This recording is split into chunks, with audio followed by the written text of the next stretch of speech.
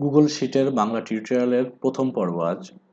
এটাতে দেখাবো কীভাবে গুগল শিট ওপেন করবেন বা তৈরি করবেন এবং সেটি কীভাবে সেভ করবেন, তাকে কোথায় সেভ হচ্ছে বা তাকে কোথাও কোন একটা ফোল্ডার তৈরি করবেন, সেই ফোল্ডারের মধ্যে মুভ করবেন। ইন টোটাল দেখানোর চেষ্টা করব। এখানে আপনি কয়েকটি মাধ্যমে গুগল শিটে ঢুকতে পারবেন অথবা কয়েকটি লিঙ্ক ব্যবহার করে আপনি গুগল শিটে যেতে পারবেন, যেহেতু এটি অনলাইন বেসড সো আপনি শুধুমাত্র অনলাইনে ডাটা কানেক্ট করে বা যে কোনো একটি ব্রাউজার থেকে কিন্তু গুগল শিটে ঢুকতে পারবেন। আমি এটি ফায়ারফক্স ওপেন করে নিয়েছি এবং সেখানে কয়েকটি লিঙ্ক দেখবেন। Google Docs dot Google dot com থেকেও আপনি গুগল শিটে ঢুকতে পারবেন। এটি ডক্সের একটি সার্ভিস এখান থেকে আপনি যদি ডক্সে থেকে থাকেন, সেক্ষেত্রে এখানে বেশ কিছু অপশন পেয়ে যাবেন। ডক্স শিটস স্লাইড ফর্মস আপনি চারটি সার্ভিস কিন্তু এখান থেকে ডক্সে পেয়ে যাচ্ছেন। আপনি জাস্ট এখান থেকে শিটসে যদি ক্লিক করেন, সেক্ষেত্রে আপনার গুগলের যে শিটের লিস্ট সেটি আপনি দেখতে পারবেন। যদি আপনার প্রজেক্ট একাধিক করা থাকে, সেই লিস্টগুলো আপনি দেখতে পারবেন। অথবা আপনি বেশ কিছু টেম্পোরারি গ্যালারি থেকে বেশ কিছু টেম্পলেট আপনি দেখতে পারবেন। অথবা একটি ব্লাঙ্ক শিট এখান থেকে ওপেন করতে পারবেন। ব্লাঙ্ক শিটে ওপেন করলে এখানে একটি স্প্রেডশিট তৈরি হয়ে যাবে এবং এটা এখানে কোনো ডিফল্টভাবে নাম থাকবে। আপনি এখানে চাইলে এডিট করতে পারবেন। এরপরে গুগল ড্রাইভ থেকে যদি আপনি চান নিউ নিউ থেকে গুগল শিট এর মাধ্যম দিয়েও আপনি ব্লাঙ্ক স্প্রেডশিট অথবা একটি ফর্মের টেমপ্লেটে আপনি ওপেন করতে পারেন। আমি ব্লাঙ্ক স্প্রেডশিট ওপেন করব। এখানে জাস্ট ক্লিক করলেই ওপেন হবে, অথবা শিটস ডট গুগল ডট কমে ঢুকলেও আপনি এইভাবে শিটটা পেয়ে যাবেন বা গুগল শিটের ব্লাঙ্ক যে ইন্টারফেসটি সেটি বা ড্যাশবোর্ড সেটি পেয়ে যাবেন। ব্লাঙ্কে ক্লিক করলে আপনার এখানে শিটটা ওপেন হয়ে যাবে। এখন শিটটা ওপেন হওয়ার পরে আপনার প্রাথমিকভাবে শিটের যে নামটা, সেই নামটা পরিবর্তন করে নিতে হবে। সেক্ষেত্রে আপনি যে শিটের নামটা দিতে চাচ্ছেন বা যে ধরনের প্রজেক্ট আপনি করতে চাচ্ছেন, সেই প্রজেক্টের নামটা দিবেন। এরপর এন্টার দিবেন। দেখবেন গুগল শিট প্রতি সেকেন্ডে বলেন বা প্রতি ট্রানজ্যাকশনে বলেন বা প্রতি এন্ট্রিতে বলেন, যে কোনো ধরনের চেঞ্জ হলেই গুগল শিট তা সেভ হবে। অটোমেটিক্যালি সেভ হবে। হ্যাঁ আমি যে কোনো নাম পরিবর্তন করে নিয়েছি বা আমার শিটের নাম পরিবর্তন করে নেওয়ার সঙ্গে সঙ্গে ফাইলটি অটোমেটিকলি সেভ হয়ে যাচ্ছে। দেখুন, এখান থেকে আপনি এই ফাইলটাকে মুভ করাতে পারবেন বা যে কোনো একটি ফোল্ডারে এটিকে সেভ করাতে পারবেন। সেক্ষেত্রে আমি যদি মুভে ক্লিক করি, এখান থেকে নিউ একটি ফোল্ডার ক্রিয়েট করা যাবে। অনলাইন ক্লাস আপনি এখান থেকে একটি ফোল্ডার ক্রিয়েট করবেন এবং সেই ফোল্ডারের মধ্যে আপনি মুভ হেয়ার করে দিলে এটি ওই ফোল্ডারের মধ্যে পাবেন। এবং এই ফোল্ডারটি দেখুন মাই ড্রাইভের মধ্যে ওয়ান ক্লাস একটি অনলাইন ক্লাস একটি ফোল্ডার ক্রিয়েট হয়েছে এবং সেখানে এই ফাইলটি সেভ হয়ে গেছে। দেখি মাই ড্রাইভে যদি আমি ঢুকি এখন, আমার গুগল ড্রাইভে এখানে একটি অনলাইন ক্লাস একটি ফোল্ডার তৈরি হবে এবং তার মধ্যে ক্লাস ওয়ান একটি ক্লাস ওয়ান একটি গুগল শিট ক্রিয়েট হয়ে যাবে। আপনি মোবাইল থেকে বলেন পিসি থেকে বলেন, আপনি যে কোনো ব্রাউজার থেকে বলেন অনলাইন বেসড হওয়ায় আপনি যে কোনো ড্রাইভ ব্রাউজার থেকে আপনি গুগল ড্রাইভে ঢুকে বা গুগল শিট থেকে আপনি এটিকে অপারেট করতে পারবেন বা ওপেন করতে পারবেন বা আপনি এটাকে এডিট করতে পারবেন বা কাউকে পাঠাতে পারবেন শেয়ার করতে পারবেন। কারণ আপনি এটি অ্যাক্সেস নিজে তৈরি করছেন বা এটার অ্যাডমিন আপনি বা যেটাই বলেন এটা আপনি এর ওনার এই কারণে আপনি যে কাউকে এটিকে শেয়ার করে দিতে পারবেন। এখানে প্রথম ক্লাস যেহেতু আমি কয়েকটি বিষয় এখানে আপনাকে দেখানোর চেষ্টা করব, সেটি হচ্ছে আপনি যখন এক্সেল যখন গুগল শিট আপনি ক্রিয়েট করবেন ডিফল্টভাবে একটি শিট থাকবে এবং শিটের নাম থাকবে শিট ওয়ান আপনি চাইলে এখান থেকে কয়েকটি শিট ক্রিয়েট করে নিতে পারবেন। আপনার যতগুলো প্রয়োজন শিট ওয়ান টু থ্রি এভাবেও সিকোয়েন্স অনুযায়ী ক্রিয়েট হবে। আপনি চাইলে এই শিটের নাম পরিবর্তন করে নিতে পারবেন ডাবল ক্লিক করে।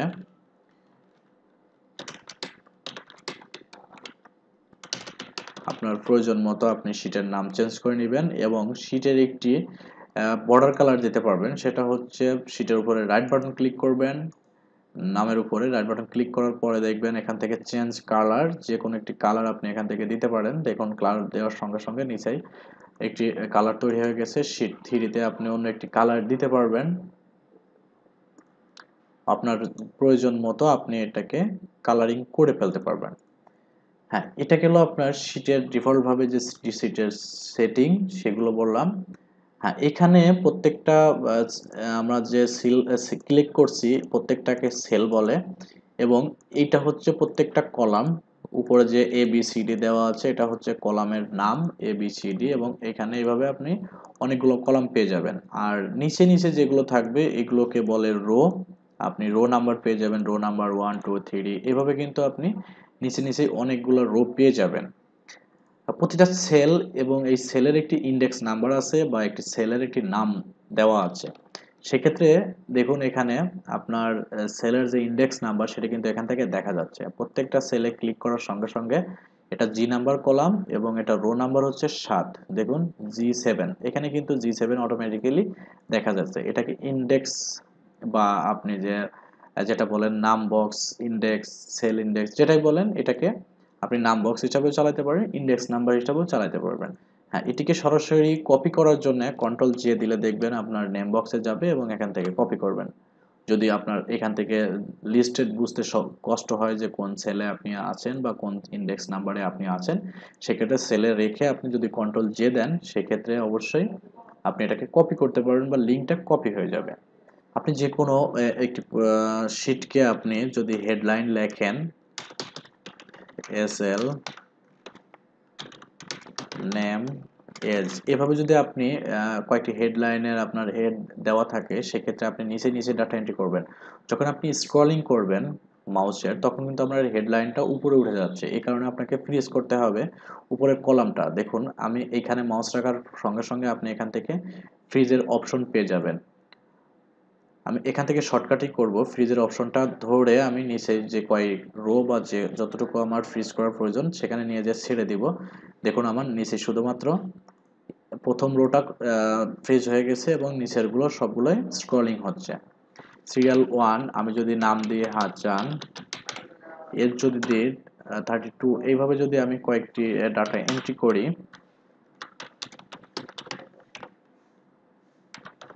এভাবে কিন্তু স্ক্রলিং করে নিচের দিকে যাচ্ছে। হ্যাঁ আমার যদি ডানে অনেকগুলো কলাম থেকে থাকে, সেক্ষেত্রে কিন্তু ডান দিকে আমার ফ্রেস করতে হবে। সেক্ষেত্রে একইভাবে দেখুন এখানে আমার যে ইন্ডেক্সের পরে যে অপশনটা দেখা যাচ্ছে, এখান থেকে ফ্রিজের যে অপশন সেটাকে ধরে আপনি একটু ডান দিকে স্ক্রল ধরে ড্রাগ করেন, দেখুন এখানে দুইটি কলাম এবং একটি রো কিন্তু ফ্রিজ হয়ে আছে। এভাবে আপনি আপনার ডাটা এন্ট্রির যে অপশনগুলো আপনি কাস্টমাইজ করতে পারবেন বা ফ্রেজ আনপ্রেস করতে পারবেন। দেখুন, এটাকে আমি আনপ্রেস করে দিই। এখান থেকে ধরে এটাকে এটাকে ধরে ফ্রিজের অপশনটাকে ধরে উপরের রোর সঙ্গে মিলিয়ে দিলে আমার আনফ্রেজটা হয়ে যাবে। এখানে আরও কয়েকটি কলাম আমি এখানে অ্যাড করি। যেমন এখানে স্যালারি যদি আমি এখান থেকে কয়েকটি স্যালারি যদি এন্ট্রি করি, যেহেতু এটা একটি এমপ্লয়ি ডাটা বলতে পারেন এখানে আমি শিটটা শিটের নামটা চেঞ্জ করে দিই। এমপ্লয়ি ডাটা এখানে আমি জাস্ট এটাকে এমপ্লয়ি ডাটা হিসাবে এটাকে দেখাবো।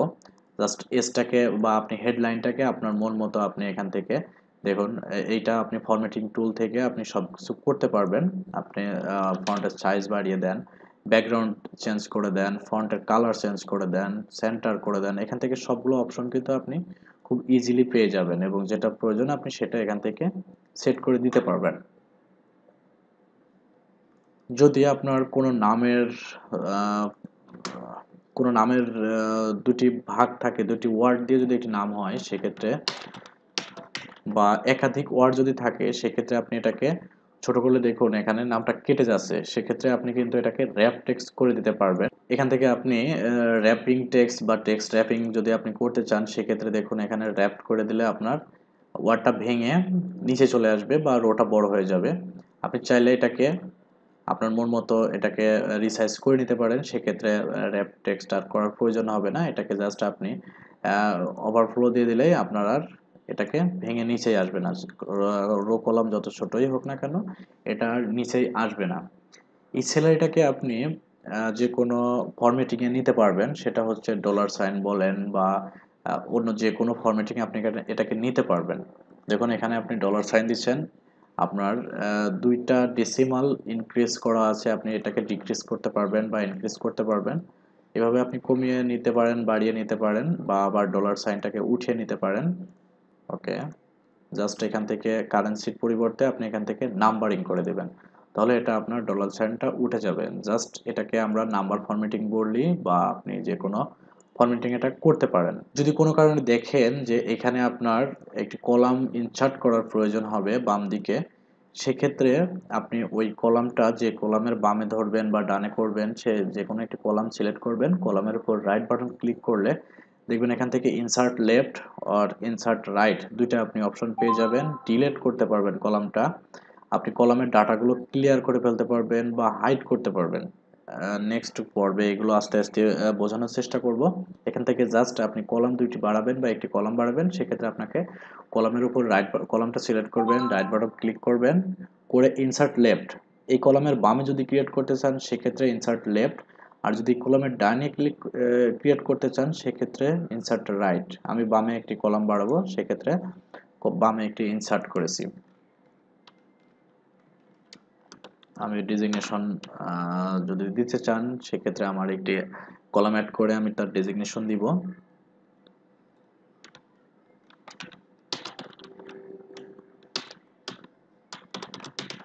এখানে দুইটি ডাটা অ্যাড করলাম এবং তাদের ডেজিগনেশন দিয়ে দিলাম। এরপরে আপনি এখান থেকে চাইলে তার অ্যানুয়াল স্যালারি আপনি হিসাব করতে পারেন বা যে কোনো ক্যালকুলেশন আপনি কিন্তু এখান থেকে করতে পারেন। আমি জাস্ট টোটাল স্যালারি এটা যদি কাউন্ট করতে চাই, দেখুন এখানে। এখান থেকে আমরা কি করি অনেক সময়? যদি যদি যোগ করতে চাই, সেটা হচ্ছে গুগল শিটের যে ফর্মুলা বা এক্সেল শিটের যে ফর্মুলা সেটি হচ্ছে সাম করব। বা এখান থেকে আপনি যে কোনো ফর্মুলা ইউজ করতে পারেন। আপনার যে ফর্মুলার প্রয়োজন, সেই ফর্মুলাটাই আপনি এখান থেকে ইউজ করতে পারেন। তবে বেশ কিছু ফর্মুলা এক্সেল শিট থেকে আসছে গুগল শিট নিজেরও কিছু ফর্মুলা করা আছে। আপনি যে কোনো যে কোনো ফর্মুলা শিখলে এটাকে করতে পারবেন। হ্যাঁ যে কোনো ফর্মুলা করার আগে আমাকে একটি ইকুয়াল চিহ্ন দিতে হবে। আমি জাস্ট সাম করব। দেখুন, এখানে কিন্তু অটোমেটিক্যালি তার লিঙ্ক শেয়ার হয়ে গেছে বা কোন কোন লিঙ্কে সে সাম করবে, সেটা দেখানো হয়ে গেছে। আমি এটাকে অ্যাপ্লাই করব না, আমার নিজের মতো করে আমি সাম ফর্মুলা অ্যাপ্লাই করব সাম লিখব। এরপরে ফার্স্ট ব্র্যাকেট স্টার্ট করব। আমি কোন সেল প্রথম সেল যোগ, দ্বিতীয় সেল এভাবে কিন্তু আমি দুইটা সেল সিলেক্ট করে ফার্স্ট ব্র্যাকেট শেষ করে এন্টার করলে আমার কিন্তু এই দুইটা সেলের যোগফল কিন্তু এখানে দেখাবে।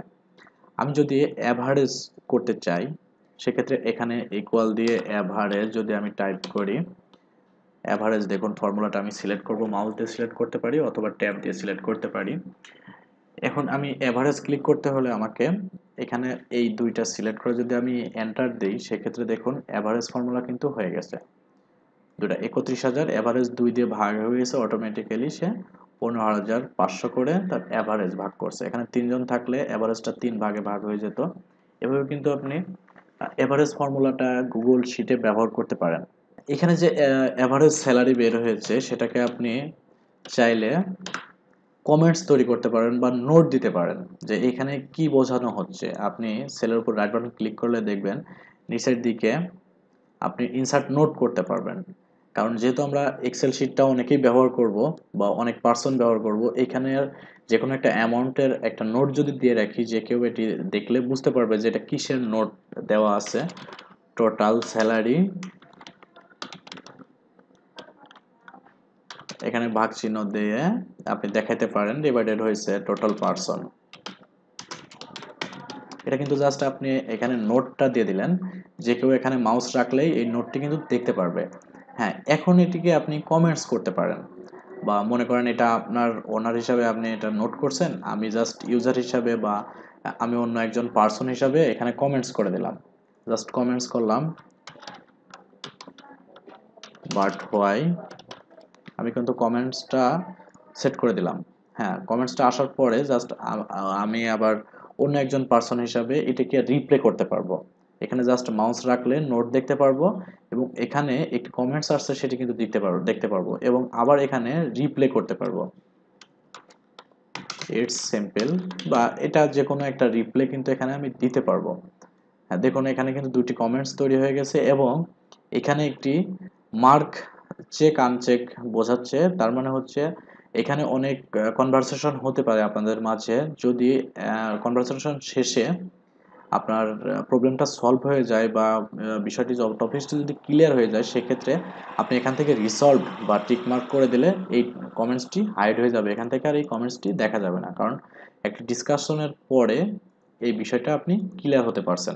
প্রথম ক্লাসে আরও কিছু দেখানোর চেষ্টা করব আরও কিছু বিষয়। সেটি হচ্ছে সিরিজ ফিল আমরা অনেক সময় ব্যবহার করে থাকি বা আমরা অটোমেটিকের চাইস যেমন এক, দুই, তিন, এভাবে কিন্তু আপনি সিকোয়েন্স যদি ঠিক রেখে সিরিয়াল আনতে চান, সেক্ষেত্রে টোটাল সিলেক্ট করতে হবে। এক, দুই, তিন সিরিয়াল লিখে টোটাল তিনটা সেল সিলেক্ট করবেন এবং এখানে যে ডট দেখা যাচ্ছে, এটার উপরে মাউসের লেফট বাটন বা সিলেক্ট বাটন ক্লিক করে আপনি যদি নিচের দিকে টান দেন, সেক্ষেত্রে কিন্তু সিরিয়াল অটোমেটিকলি হয়ে যাবে। আবার দেখুন, আজকের তারিখটা এখানে যদি আমি টাইপ করি, সেক্ষেত্রে এই তারিখটি সিলেক্ট করে যদি আমি নিচের দিকে টান দিই, সেক্ষেত্রে কিন্তু তারিখটি অটোমেটিক্যালি তার ইনক্রিজ হয়ে পরের তারিখগুলো তৈরি হয়ে যাচ্ছে। ঠিক একইভাবে আমি যদি যে কোনো দিনকে ডাউন করতে চাই বা দিনকে যদি নিচে সিরিয়াল করতে চাই, যেমন মনডে যদি আমি টাইপ করে এন্টার দেই এবং এখানে সিলেক্ট করে যদি আমি ফিল হ্যান্ডেল করি, সেক্ষেত্রে দেখুন প্রত্যেকটা তারিখ প্রত্যেকটা দিন কিন্তু এখানে চলে আসতেছে। ফ্রাইডে বা, এটা কিন্তু আবার রিপ্লে হয়ে যাবে এইভাবে। দিনের পর দিন, একের পর একদিন একদিন দুইবার হবে না বা সিকোয়েন্স মিস করবে না, এগুলো কিন্তু হবে না। এটাকে আমরা অনেক সময় সিরিজ বলি বা ফিল ফিলিং বলি অটো ফিলিং বলি। যেটাই বলেন, এটা কিন্তু গুগল শিট দিয়ে খুব সহজে আপনি করতে পারবেন। এটাকে যোগ অ্যাভারেজ দেখিয়েছি, আমি এটাকে বিয়োগ করতে পারি বা এখানে যে মান্থ অফ আপনার কত মাসের স্যালারি আপনাকে দিতে হবে সেটাও যদি করতে চাই নাম্বার অফ মান্থ যেমন, এখানে দশ মাসের স্যালারি যদি দিতে চাই টোটাল কত টাকা আসে সেক্ষেত্রে দেখুন আমি এখানে ইকুয়াল চিহ্ন দিব। দেওয়ার পরে আমার যে স্যালারি ওই ইউজারের যে স্যালারি বা ওই এমপ্লয়ের যে স্যালারি গুণ চিহ্ন দিব নাম্বার নাম্বার ফরম্যাট বা কোন, কত মাসের স্যালারি দিব সেটাকে সিলেক্ট করে এন্টার দিই। এন্টার দিয়ে যদি আমি দেখি টোটাল দশ মাসে দেড় লক্ষ টাকা আসছে, এটাকে আমি যদি ফিল হ্যান্ডেল করি, দেখুন, যদি ফিল হ্যান্ডেল করি, সেক্ষেত্রেও কিন্তু দ্বিতীয় এমপ্লয়ের কিন্তু এখানে তার স্যালারি আসার কথা, কিন্তু এখানে আসে নাই। এটার জন্য আমাকে সেল রেফারেন্স করতে হবে এবং যে আমার যে নাম্বার অফ মান্থ সেটাকে সেল লক করে দিতে হবে। দেখুন, প্রথমে ফর্মুলা যেখানে তৈরি করছিলাম ডাবল ক্লিক করে এই যে মাসের অ্যামাউন্ট সিলেক্ট করছি, সেটাকে লক করে দিতে হবে।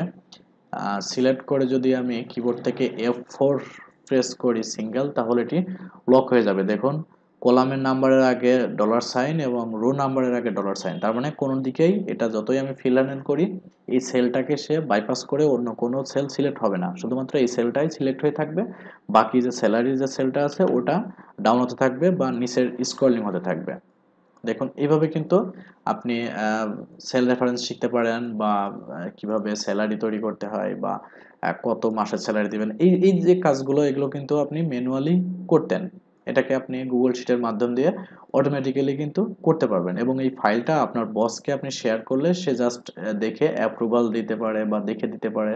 যে কোনো কিছু সে এখান থেকে কিন্তু, করতে পারে। ভিডিওটা এমনিতেই প্রথম ক্লাস হিসাবেও কিন্তু ভিডিওটা অনেক বড় হয়ে গেছে, অনেক সরি আমি বেসিক শিখাচ্ছিলাম বা বেসিক কিছু বলতে গিয়ে একসঙ্গে অনেকগুলো ফর্মুলা দেখানোর চেষ্টা করে ফেলছি। আশা করি পরবর্তী ভিডিওতে, একই ভিডিওতে অনেকগুলো টপিক্স নিয়ে আলোচনা হবে এবং অনেকগুলো ফর্মুলা নিয়ে আলোচনা করা হবে, যেগুলো আমি আগে থেকেই জানিয়ে দিব কোন কোন ফর্মুলাগুলো নিয়ে কাজ করা হবে বা কাজ করব। এটাকে জাস্ট একেবারে স্টার্টিং হিসাবে দেখিয়েছি, কীভাবে ফাইল তৈরি করবেন ফাইলের নাম লিখবেন, সে ফাইলটা কোনো ফর্মুলা কোন ফোল্ডারে মুভ করবেন, এভাবে শিটের নাম চেঞ্জ করবেন শিটের কালার চেঞ্জ করবেন, এগুলো কিন্তু আপনি আজকের এই ভিডিও থেকে শিখতে পারবেন বা করতে পারবেন। কেমন লাগল ভিডিওটা দেখে? যদি এই ভিডিওতে কোনো প্রকার উপকার আপনি পেয়ে থাকেন বা আপনার দেখে যদি কোনো উপকারে আসে, অবশ্যই কমেন্টস করবেন আর অবশ্যই চ্যানেলটি সাবস্ক্রাইব করবেন। পরবর্তী ভিডিওটি পেতে অবশ্যই বেল বাটনটি প্রেস করে রাখবেন। দেখা হবে পরের ক্লাসে সবাই ভালো থাকবেন। আল্লাহ হাফিজ।